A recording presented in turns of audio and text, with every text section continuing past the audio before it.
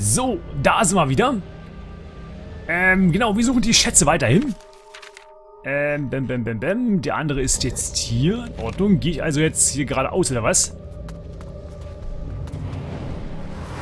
Da hinten sind Gegner. Ich werde, es gibt doch irgendein Okular, was mir Gegner anzeigt. Stirb, Dämon! Chiraka! Okay, das war der eine. Ein zweiter ist zumindest da hinten. Na komm.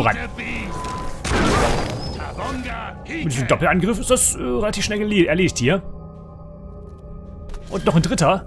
Ein vierter sogar noch.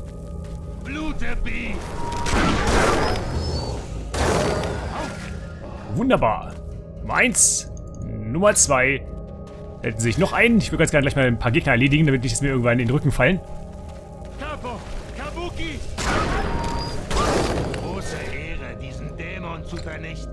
Ja, mein Gott, so großes Ding ist auch nicht. Ich sehe tatsächlich überhaupt gar kein Kristall oder sowas.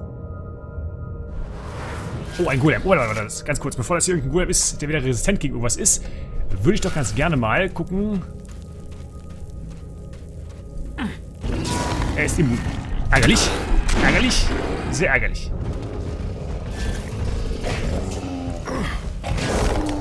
Aber mal angreifen, sodass äh, der Dingens mit angreifen kann hier. Ich weiß, es bringt mir nicht viel. Tada. Wir kurz ein bisschen äh, Proviant schnappen. Äh, und mal ganz kurz gucken, ob ich irgendwas habe, was eher ja ihm noch gefährlich werden könnte. Magie. Splitterhagel ist offensichtlich nicht. Rost bringt wahrscheinlich auch nicht. Splitterhagel habe ich immer noch. Ähm, hm, hm, hm. Nein, ich habe praktisch gar keine äh, Zauber mehr, die irgendwie gefährlich werden könnten. Das ist ein bisschen ärgerlich. Da muss ich jetzt ein bisschen auf... Nee, da muss ich einfach mal laden, ganz ehrlich. Ich will nicht so lange auf meinen Begleiter jetzt äh, warten, bis er immer diesen Sumpfgolem erledigt hat, weil das dauert echt Stunden wahrscheinlich. Und ich hoffe mal, dass die Karte, dass der Schatz nicht gerade da in der Nähe ist. Ich hoffe es wirklich. Er ist hoffentlich eher hier oben. Den Sumpfgolem werden wir aber später mal liegen. Wenn wir wieder irgendwann in der Nähe sein sollten. Da ist ein Hühnchen. Und darüber müssen wir auch gleich mal. Warte mal. Nee, einfach nur gehen. Reicht auch schon. Na, kommst du angelaufen? Da hinten oder was? Nö. Dann nimm mal das Skelett auf die Schippe, aufs Korn. Oder er greift da hinten schon mal an, ist auch, noch, auch nicht schlecht. Und hier ist der Schatz vergraben. Also in Anführungsstrichen der Schatz. Ob es das es irgendwas Großes wäre hier. Ein Geisterpilz. Ein totes Skelett. Wo ist eigentlich der Hund hin, der Höllenhund? Egal. Graben erstmal wieder diesen nutzlosen Schatz aus. Wahrscheinlich kriegen wir jetzt einen äh, äh, rostigen Löffel oder äh, rostiges Messer oder irgendwas in Richtung.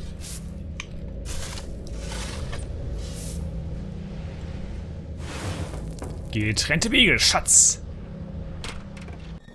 Ein Handspiegel. Wer ihn in der Hand hält, kann sich darin spiegeln.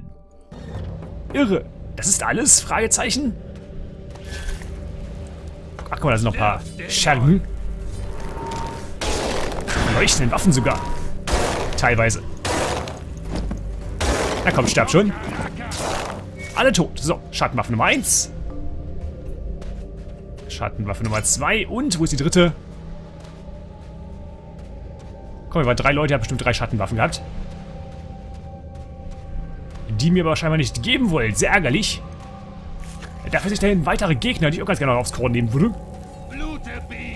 Zwei Skelettchen. Na, das mal. So ein freies Land ist auch nicht, dass du mir einmal äh, angreifen kannst. Das ist immer ein Schattenland, sind wir ehrlich. So. Ein totes Skelett, ein zweites totes Skelett. Was war das denn gerade? Ich habe irgendeinen Soundeffekt gehört. Klang wie so ein Stöhnen oder Rufen, wie auch immer. Oh. Oho. Ja, wisst ihr was, dann legen wir ihn einfach ganz kurz noch. Wir haben ja nichts zu tun gerade. Speichern. Könnten wir vielleicht erstmal den, den Höllenhund bitte töten? Stirb, Dämon! So, jetzt dich. Schattenlos des Wahnsinns. Aua. Uiuiuiui. Ja, vielleicht legt ihr doch lieber uns. Kriegen wir aber hin, wir müssen nur ein gutes Feld bekommen.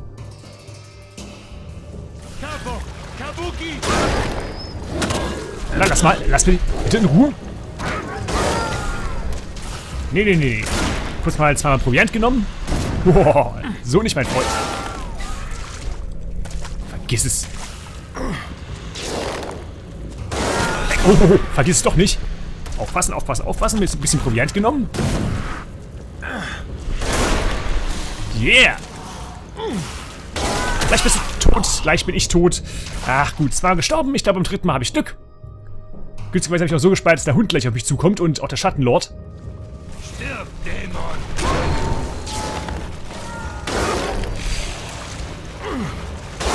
Weg! Bisschen darauf achten, immer den Schattenlord ein bisschen im Blick behalten. Oh Gott. Huh. Nee, nee, nee. Aua.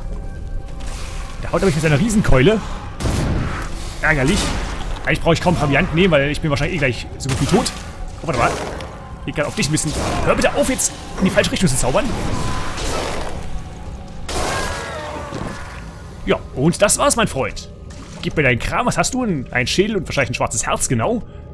Und ein Schattenzepter natürlich. Sehr, sehr gut. Der Hund ist wahrscheinlich auch irgendwo gestorben. Da hinten liegt er. Und wir speichern. Wir sind schon einige zu Tode gekommen, offensichtlich. Ein toter Soldat hat 15 Gold bei sich. Ist hier noch irgendwie kristallmäßiges irgendwas los? Da ist noch eine Leiche, was Blaues. Da hinten war eine Pflanze, nehme ich natürlich auch noch an mich. Aber ist wirklich nichts, nichts Kristallähnliches, oder? Komisch. Na gut, dann ist hier wohl nicht viel. Aber noch weitere Soldaten haben wir. Wir haben einmal hier einen Runenring und einen Knochen. Und einmal rum. Was bringt mir denn der Runenring, bitte? Ausrüstung. In der linken Hand habe ich nichts. Hier kann ich diese Knarre. Ähm... Ring, genau. Runenring bringt mir klingensicher Runenmagie mehr. Und Alchemie mehr. Ähm, was habe ich eigentlich gerade angelegt? Ich habe einen Kristallring, mehr Kristallmagie. Das ist doch eigentlich ganz gut. Und Filz Verlobungsring. Den werde ich natürlich jetzt nicht anlegen. Das wirkt ein bisschen komisch, glaube ich. Habe ich hier hinten schon gelootet? Habe ich nicht. 20 Gold. Und da sind noch zwei Skelette. Ich muss auch ganz gerne mal zu dem äh, Los! kleinen Wicht zurück, der mich irgendwie von einem sinnlosen Schatz zum nächsten ähm, lockt. Oder führt. Autsch.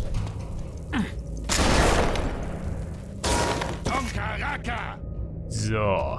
Einmal das und einmal das. Dann noch mal einmal Proviant genommen.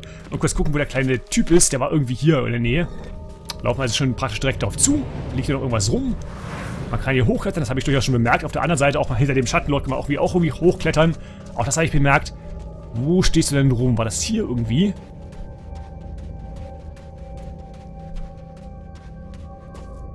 Äh. Das war doch hier in der Nähe, oder ist er wieder zurückgelaufen, da wo er gerade war?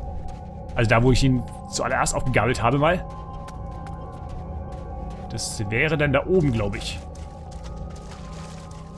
Gehen wir mal hoch, da war auch das Feuer. Ich glaube, deshalb hat sich wieder hingesetzt, hat sich wahrscheinlich... Macht jetzt immer noch einen Lenz oder sowas. Ich höre irgendwelche Gegner. Oh,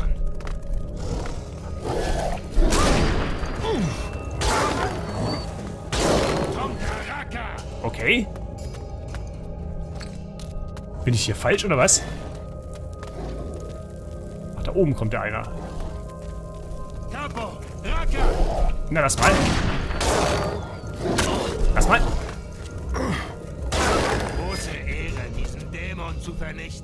Vielleicht müssen wir da kurz da hochklettern, aber hier war doch irgendwo Blutwurzel. Ich glaube, ich bin da wirklich falsch. Speichern? Äh, Quatsch. Speichern? Wo ist denn der komische Wicht hin? Der wird doch nicht weggelaufen sein. Der wird wahrscheinlich äh, irgend noch einen sinnlosen Abschlu äh, Abschlussspruch irgendwie einbringen. Geh mal hier hoch. Und dort hoch. Ah ja, hier ist das Feuer. Okay, das war der Weg, den ich vorher nicht äh, bis zu Ende gegangen bin. Und sitzt du da rum? Das tust du nicht, okay. Hm. Wo ist er hin? Wo hat er sich niedergelassen? Er steht irgendwo rum. Das Dumme ist, in dieser absolut farblosen Gegend kann man auch irgendwie nicht besonders weit sehen, äh, beziehungsweise sieht nicht... Also man sieht schon relativ weit, aber man sieht irgendwie kaum Unterschiede zwischen verschiedenen Formen. Und dann nehmen wir erstmal kurz das Gewächs auf, was ich offensichtlich vergessen habe. Ein Schlangenwurz oder was auch immer das sein soll. Yep, ist es. Ich habe bis noch kein einziges Mal im Spiel irgendwas wirklich zusammengebraut. Kann das sein? Äh, Äh. Ja, gut. Äh, dass die Gegend gefährlich ist, weiß er ja mittlerweile. Stehst du wieder auf, bitte?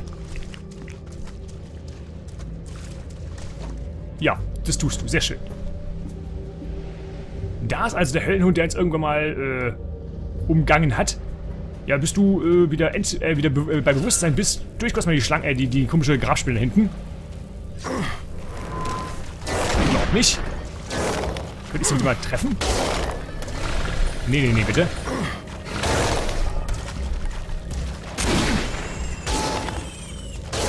Fliehst du jetzt? keine Fäden mehr spinnen. Ja, äh, vielen Dank für diesen großartigen Spruch. Du solltest Gedichte schreiben. Jetzt komm, jetzt mach schon wieder auf. Oh, 15 Gold. Vielen Dank erstmal. Komm, dass du bewusstlos bist, heißt nicht, dass du irgendwie tot bist. Warte mal, kann ich, kann ich irgendwie heilen? Das ist ja eine Möglichkeit. Ich habe ja, glaube einen Heilzauber oder sowas gehabt. Ü Magie. Heilung. Heißt Heilung, Heilung von... Äh, heile ich andere? Das tue ich nicht. Gut. Ja, toll. Roscoe ist jetzt äh, erstmal noch weiter bewusstlos. Ich hoffe, er steht irgendwann mal wieder, wirklich wieder auf. Aber bewusstlos heißt ja nicht tot. Ansonsten habe ich das hier äh, richtig verkackt. Egal. Ähm, wir haben aber trotzdem noch einige andere Schätze, die wir heben wollten. Irgendeiner war hier, glaube ich, bei diesem Turm. Da müssen wir kurz mal ins Logbuch gehen und auf, äh, wo sind wir gerade? Takarigua gehen. Der Schatz im toten Land von Takarigua auf der Karte markieren. Haben wir also wirklich nur das eine Quest hier zu absolvieren. Und tatsächlich ist sie da hinten. Wir müssen also dorthin. Hier war auch, glaube ich, irgendwo der Golem noch äh, den wir natürlich umgehen müssen und hoffen, dass der Roscoe irgendwann mal lebt doch. Oder irgendwann wieder, wieder lebt. Und mein Bewusstsein ist natürlich ein bisschen ärgerlich, dass jetzt von irgendeinem Tier erledigt wurde. Aber ich finde es ehrlich gesagt gar nicht mal so schlecht. Denn, ähm, das macht die Sache schon etwas realistischer mittlerweile. Dass sich einfach die NPCs einfach irgendwo in der Gegend rumstehen. Nach dem Motto, ach, mach du mal. Ich überlebe hier eh. Weg. Haha, das war knapp. Das war nicht knapp. Oh, oh. So, echt geil, dass ich da wirklich der Einzige bin, der angegriffen wird. Das ist natürlich sehr schön für meinen Begleiter, der einfach nur äh, mit seiner Muskete zwei Stunden lang nachladen kann. So. Danke dafür. Danke dafür. Dann ist irgendwie eine Truhe oder sowas.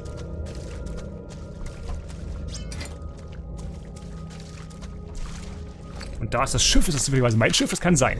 So, gehen wir mal auf diese Insel. Gehen wir am besten noch gleich zu der Truhe, wo ich da gerade, äh, die ich da gerade gesehen habe. Hier sind noch ein paar Knochen. Blutwurzel und einige Skelette. Capo! Kabuki! Ah, war nicht rechtzeitig. Ärgerlich. Und tot. Ja, endlich. Sehr schön, gehen wir weiter. Nummer 1. Nummer 2, lass mich raten, das ist hier irgendwo oben. Okay. Und tatsächlich. Mal schauen, was ich hier finde. Mitten im Feindesland. Na, ist auch schon das Gras mit angesprüht worden. Sehr schön. Der Schatz und Totenland von Takarigua. Mal gucken. Wir finden 90 Gold, eine Perle, ein Jagdhorn und ein Schädelbecher. Ein Relikt aus einer anderen Zeit.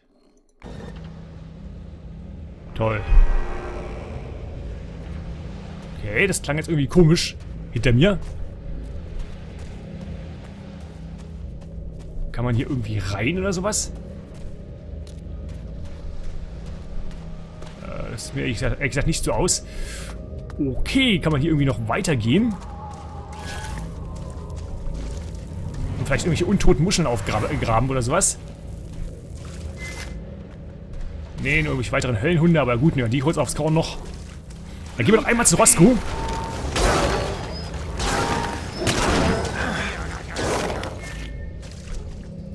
Na komm. Und äh, wenn der schlichtweg nicht mehr lebt, oh, guck mal, ein Anker. Oder immer nicht so Bewusstsein ist, dann äh, können wir hier auch nicht wesentlich mehr tun auf dieser Insel, glaube ich. Denn haben wir Takarigua im Prinzip abgeschlossen, wenn ich es richtig verstanden habe. Das wäre tatsächlich die erste Insel, die wir wirklich komplett abgeschlossen haben. Kann das sein? Guck mal, eine weitere Truhe. Oh, knackbar. So, ein Goldherz, ein Golderz und eine Goldfalle. Wie nett. Noch irgendwas hier? Nein, Muscheln scheint es generell nicht zu geben, mehr in solchen Landen. Muscheln gibt es nur in lebendigen Reihengewässern. Lass mich. Fantastisch. Einmal das. Und einmal das. Ich bin schon gespannt, ähm, auf welche Kreatur wir als nächstes treffen, wenn wir wieder nach Taranis segeln. Ob es wieder so eine Seeschlange sein wird, ob es wieder irgendwelche, ähm, irgendwelche äh, Seefahrer sein werden, die versuchen uns zu entern oder irgendwas in der Richtung. Mal schauen, was ist das denn bitte? Das ist bitte erst nicht Roscoe. Nee, du bist definitiv nicht Roscoe, du bist aber nur ein Scherge. Hm. Aufnehmen? Was aufnehmen? Eine Geisterblume aufnehmen. Ist hier irgendwas Schönes? Nö. Schön ist hier definitiv gar nichts, vor allem sehr farblos alles. Ähm, man kann da rüber, aber ich will gerade keinen Grund darin sehen. Eine weitere Grabspinne. Vielleicht ein bisschen Abstand gewinnen.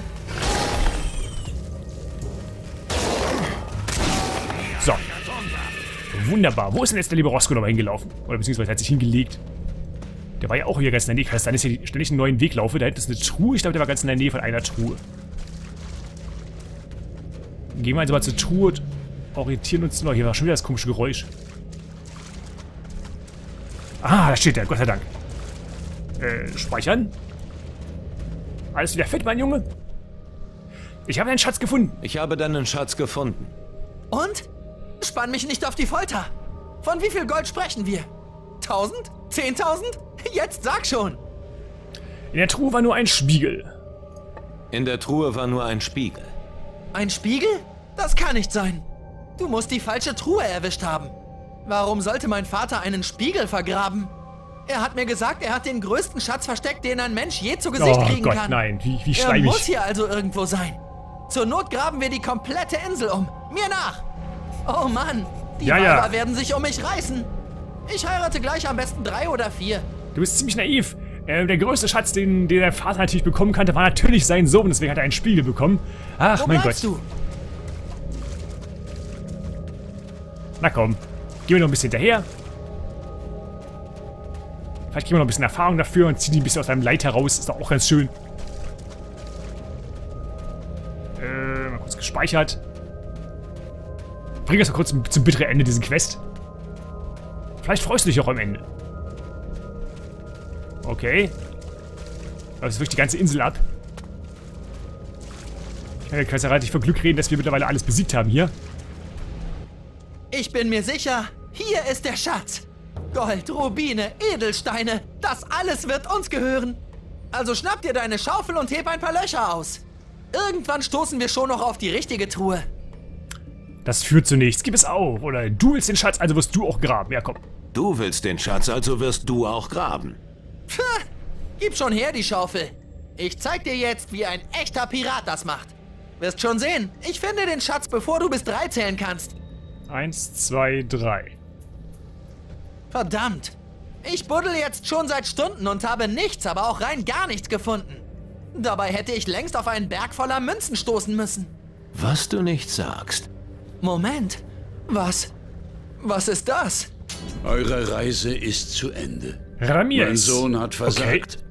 Er hat meine Hinterlassenschaft nicht zu würdigen gewusst. Er wird mir ins Schattenreich folgen. Vater! Was? Nein! Nun zu dir. Sag, hast du erkannt, was der größte Schatz ist, den ein Mensch jemals sehen kann? Erst sagst du es mir, was, äh, erst sagst du mir, was mit Roscoe passiert ist. Ähm, nein.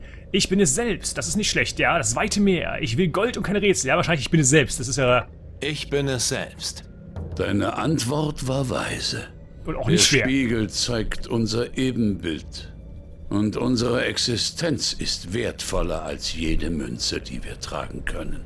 Zum Dank will ich dir diesen Diamanten überreichen. Oha. Seine Reinheit soll dir ein Zeichen auf deinen Wegen sein. Leb wohl, Mensch. Oh Mann. Was für eine Geschichte. Ja, die glaubt mir kein Mensch. Aber ich habe viel Erfahrung bekommen. Gar nicht mal schlecht. Ähm, ich hätte tatsächlich gedacht, dass, äh, ich wusste nicht, dass es gleich was übernatürlich ist tatsächlich. Ich ging wirklich davon aus, dass, ich kann ja jetzt zum Schiff zurückkehren, ehrlich gesagt, ähm, dass es äh, wirklich so ist, wie ich gesagt habe. Also sozusagen der, der, ähm, der Vater seinen Sohn klar machen wollte, dass er ihn unglaublich liebt und dass der größte Schatz in seinem Leben dementsprechend Ein sein Sohn dunkler ist. Fleck unter Wasser. Oh Gott, nein. Und zwar ein schrecklich großer. Ein Seeungeheuer lauert uns vor der Küste auf. Gut, wir wissen ja, was zu tun ist. Dieses Ding scheint das schnellste und gefährlichste bisher zu sein, wenn du mich fragst. Also mach dich auf etwas gefasst, wenn du in See stichst. Wird es nicht mal wieder Zeit, deine Crew zu inspizieren? Äh, Das mache ich, aber erst in der nächsten Folge und äh, ihr wisst ja auch, was danach schon auf uns zukommt. Ein kleiner Seekampf. Wir sehen uns alle in der nächsten Folge wieder. Bis gleich.